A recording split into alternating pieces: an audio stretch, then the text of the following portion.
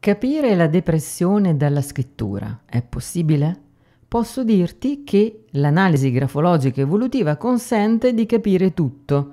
Chi sei, chi sei stato, chi potrai essere, dove vai e dove potresti andare. La grafologia evolutiva è la storia del tuo oggi e di ogni tuo possibile domani. Sei sempre tu a scegliere. Nella scrittura c'è ogni aspetto del tuo essere e del tuo animo, il più sottile come il più profondo, le cose belle e quelle meno belle. Così, cogliendo il modo in cui vedi la vita, quello che provi, come ragioni, cosa ti colpisce, cosa ti solleva, certo coglie anche emozioni e pensieri negativi, i momenti in cui ti capita di sentirti più scoraggiato o demotivato. Quei momenti non si trasformano in modelli interiori di pensiero e di comportamento da soli, non si cristallizzano in un giorno, occorre tempo.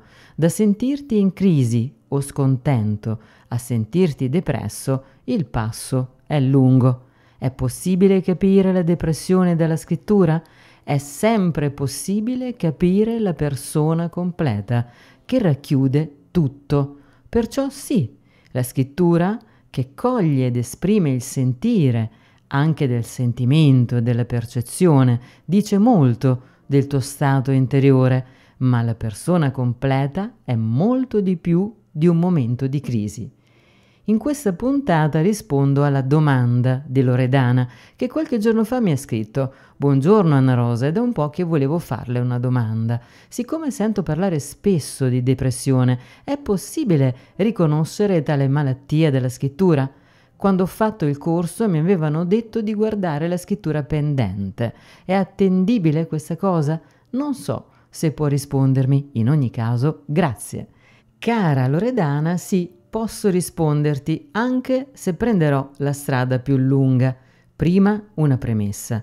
Non parlo in questa puntata della depressione come malattia. Le malattie, quando sono riconosciute e diagnosticate come tali dai professionisti specializzati e deputati a questo compito, devono essere curate seguendo le migliori, le più aggiornate, le più efficaci terapie. Da studiosa del comportamento umano e dei modi migliori per tradurre la persona completa nella vita più adatta a lei, parlo degli stati d'animo negativi come scoraggiamento, demoralizzazione, inquietudine, abulia, non di depressione. La depressione è già un livello successivo e non è detto che arrivi e non è detto che tutti gli stadi e stati precursori portino alla depressione, così come tanti altri problemi, disturbi di varia natura, negli ultimi decenni la classificazione medica di atteggiamenti comportamentali è aumentata. Anche per questo non è infrequente che un comportamento emozionale ed emotivo, magari anche fondato, venga etichettato come depressione. Non tutte le sensazioni di scoraggiamento sono legate alla depressione. Non conosco, cara Loredana, il corso che hai seguito. Proprio ieri su un social mi è comparso un profilo spagnolo di una persona esperta di grafologia, almeno credo, che usa immagini molto carine per etichettare scritture e comportamenti. C'era la foto di una grafia con gli angoli e spiegava che quella caratteristica è legata all'aggressività, anzi, diceva più o meno, ecco la scrittura delle persone aggressive. Ora, è chiaro che per semplificare concetti complessi si debba rendere il discorso più semplice, ma chi legge certi messaggi può farsi un'idea non corretta. Poi, cosa intendiamo con aggressività? Collera, rabbia, prevaricazione oppure energia interiore? C'è un segno grafologico che indica la giusta difesa del proprio io e dei propri diritti che possono essere esercitati benissimo anche senza essere aggressivi. Perciò, se è vero che le categorie sono utili e che i modelli e le classificazioni possono aiutare a comprendere a grandi linee, in modo semplice, concetti complessi, ritengo, e questa è la mia opinione professionale, personale, che non dovrebbero essere usati come sola misura di riferimento quando si parla di esseri umani. Infatti, qualunque sia il problema che una persona ha o pensa di avere quando si rivolge a me, qualunque sia l'obiettivo che vuole raggiungere o cambiare, qualunque sia la motivazione, cerco sempre prima di fare emergere la persona completa. D'altronde tutte le risposte sono lì. Torniamo alla domanda. Scrivi che ti avevano detto di guardare la scrittura pendente. Se questo ti hanno detto è sbagliato, oppure dovremmo capire che tipo di scuola grafologica fosse. Nella scuola morettiana con pendente si indica l'inclinazione della scrittura, degli assi letterali, verso destra. Il segno in sé non può essere collegato alla depressione, a meno che non vi siano peculiari e specificissime motivazioni. Nessun singolo segno potrebbe esserlo. Mi spiego meglio con un esempio. Per fare analisi di grafologia clinica in ambito peritale è necessario fare uno studio approfondito di una serie complessa di segni, del rapporto che li collega e di ciò che possono esprimere a livello di decadimento e degenerazione del sistema di cui sono espressione. Anche quando realizzo l'analisi di grafologia evolutiva, che si tratti di uno studio full, come mi piace dire, base di un percorso di coaching umanistico o di un profilo grafologico che focalizzi i punti di forza, mai e poi mai concentro l'attenzione su un segno. Mai. Ho revisionato molto alcune vecchie classificazioni sui segni primari e secondari che restano comunque valide, ma per me non erano soddisfacenti. La grafia è vita, è dinamismo, è movimento. La persona completa è il risultato del tutto. Forse potrebbero averti detto che le scritture discendenti che vanno sotto il rigo di base nel procedere verso destra mentre la persona scrive potrebbero essere indice di depressione. Nella mia grafologia evolutiva anche questo sarebbe sbagliato. Il segno discendente può indicare una propensione a cedere, a lasciare andare.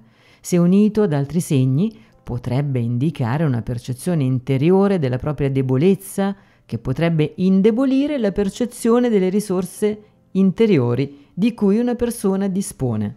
Assieme a tanti, tanti altri segni, potrebbe indicare che la persona in quel momento della sua vita o da un po' non avverte di avere le risorse per affrontare le difficoltà.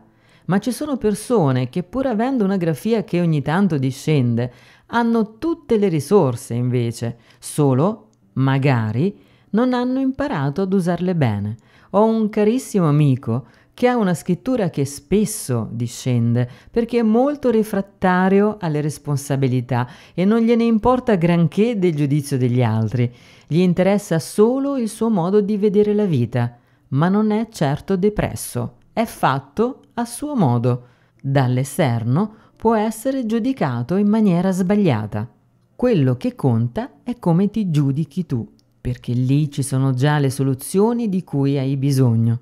Il rapporto tra malattia e scrittura è complesso. Negli anni in grafologia giudiziaria, come grafologa forense mi occupo di perizie anche in ambito penale o collaborando con la procura, mi è accaduto di studiare delle grafie per rispondere a domande legate allo stato di salute, ad esempio la capacità di intendere e di volere, il deterioramento delle capacità cognitive neurocerebrali, magari per uso di sostanze o altro.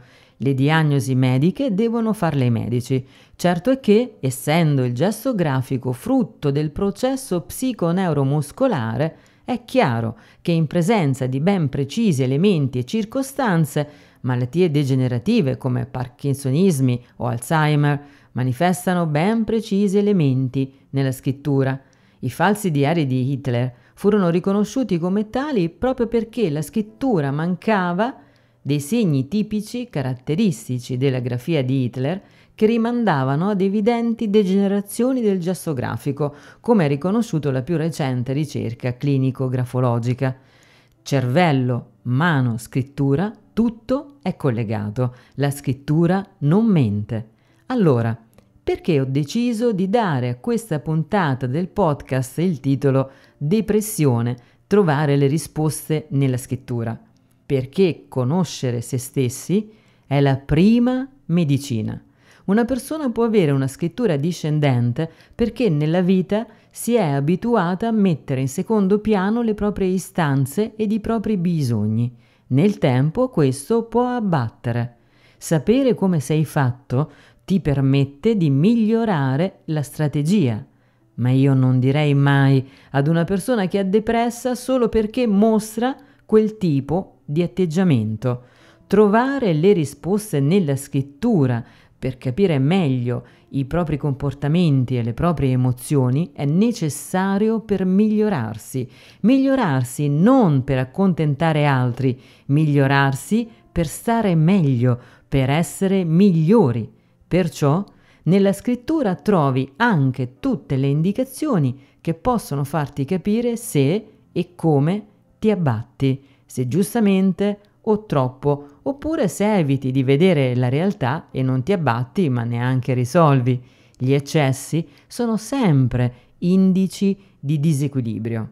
Dalla scrittura è possibile capire come una persona sta, prima ancora chi è e poi dove può andare ed è bene che vada dove sente di poter essere se stessa ed anche migliore. Gli atteggiamenti interiori che portano ai modelli mentali e comportamentali non nascono in un giorno, sono frutto di processi che possono essere invertiti e cambiati. Basta riconoscerli. Io ho avuto tanti clienti con problematiche significative Dico sempre a tutti che faccio il mio lavoro, che è quello di conoscere e far emergere la persona completa. Da lì si parte per risolvere problemi, superare momenti difficili, creare una vita più felice, capire chi si è e dove si vuole che vada la propria vita, perché ogni persona ha davvero tutte le risorse di cui ha bisogno e quando non le avesse le potrebbe comunque creare ed imparare. La persona completa è molto di più di una parte del suo essere, perciò è attendibile tutto ciò che con attenzione, serietà, profondità coglie il vero, anche nelle sfumature, che quando si parla di persone non ce n'è una uguale ad un'altra. Io non apprezzo particolarmente le classificazioni generalizzanti, cosa che mi avrai sentito dire tante volte nel podcast, perché troppe volte ho visto persone usarle con leggerezza, senza approfondire, come se fossero verità, con ciò impedendosi di vedere e far vedere le altre possibili vie. A me invece piace fare in modo che una persona possa vedere tutte le prospettive che la vita offre. È così che può davvero scegliere. Come ho scritto nel blog, nella piccola introduzione che anticipa il podcast, la scrittura conosce anche il futuro ed anche noi lo conosceremmo. Magari di questo parlerò in un'altra puntata come usare la scrittura per cambiare il futuro. E non solo la scrittura grafologicamente intesa, c'è anche altro. Grazie Loredana per la tua domanda. La massima con cui chiudo la puntata è questa. Mettiamo che tu debba sollevare un po' un tavolo per spostarlo e non ci riuscissi. Non si muove di un centimetro. È colpa del tavolo? È troppo pesante? È colpa tua? Sei troppo debole? C'è qualcosa che puoi fare? Sì, diventa più forte. Aumentando la tua forza vedrai che il tavolo ti sembrerà molto più leggero e quello che non riuscivi a spostare neanche di un centimetro potrai spostarlo anche per metri. Impara a liberarti dai pesi che ti porti dentro. Tanto più pesano, tanto più ti senti debole. Tanto più accresci la tua forza interiore, tanto più saprai di avere risorse e possibilità per affrontare e superare ostacoli e problemi. Perciò, cara Loredana, davvero grazie per questa ispirazione. Il concetto di base è questo. La complessità e la ricchezza di un essere umano meritano sempre di essere letti nella loro completezza. Ogni riduzione di lettura è di fatto una riduzione del valore che riconosciamo all'umanità. Se vuoi sapere cosa la tua scrittura dice di te, magari per riflettere sulla tua vita oggi, su quanto ti corrisponda e decidere con cognizione di causa come fare meglio nel tuo domani, capire come funziona la grafologia evolutiva, cosa farai se deciderai di avviare un percorso con me, scrivimi o telefonami. Il primo colloquio informativo è sempre gratuito e meglio conosci ciò che puoi usare, meglio puoi capire se è adatto a te annarosapacini.com è il mio sito, pagina contatti, trovi tutti i miei recapiti, anche quelli social. Seguimi sul tuo social preferito, ogni giorno troverai nuove ispirazioni per mantenere salda la tua motivazione. Ho intenzione di differenziare prossimamente i miei contenuti, ti dirò come, cosa e quando. Se ti iscriverai alla newsletter sarai sempre aggiornato. Soprattutto, se non lo hai fatto, iscriviti a questo podcast Comunicare per essere, un progetto che porto avanti da anni per aiutare chi desidera aiutarsi, per condividere prospettive e strategie che permettono davvero di migliorare la vita. L'iscrizione è gratuita e puoi farla dalla pagina podcast del mio blog o dall'app per musica che usi abitualmente, Spotify, Speaker, Apple Podcast, eccetera, eccetera. Se c'è una persona che vuoi aiutare, a cui tieni, che sai che sta affrontando un momento particolare, condividilo con lei. Da quello che mi scrive chi lo ascolta, potresti con un semplice gesto aiutarla davvero molto e non dimenticare di iscriverti al mio canale video su YouTube, novità ci saranno anche lì. Se poi senti, ovvero percepisci in te che vuoi subito avere una spinta per la tua vita, che senti che ti piacerebbe essere ispirato da te stesso, vai sul mio blog, nella pagina dedicata al profilo grafologico essenziale e richiedilo. Uno studio grafologico della tua scrittura mirato alla valorizzazione dei punti di forza strategici. Per il tuo oggi, ma anche per ridisegnare il tuo futuro. Per questa puntata è tutto. Ti saluto senza musica ed aforismi, ma con un invito. Il male, che sia sofferenza fisica, interiore, affettiva, realizzativa, che dipenda da come vedi te stesso o gli altri o da come pensi che gli altri ti vedano, non è un destino. Cos'è un male? Qualcosa che va in modo non buono, non giusto, non conveniente, non opportuno, non vantaggioso, non rispondente alla legittima aspettazione usato con verbi di percezione come sentire, capire, intendere male, significa imperfettamente, non pienamente. Perciò ogni male può diventare occasione per creare una realtà diversa. E questo è l'invito. Fai sì che le cose vadano in modo buono, giusto, conveniente, opportuno, vantaggioso e rispondente alla tua legittima aspettazione ed aspirazione. Come? Impara a sentire, capire, intendere bene, pienamente, perfettamente, dove perfettamente vuol dire nel modo più giusto. Grazie per essere stato con me, se vuoi farmi sapere cosa ne pensi, lascia un commento scrivimi oppure inviami la tua domanda. Ciao ciao! Per iscriverti al podcast e alla newsletter visita annarosapacini.com. Sui social digita Anna Rosa Pacini. Trovi Comunicare per essere su tutte le app per podcast.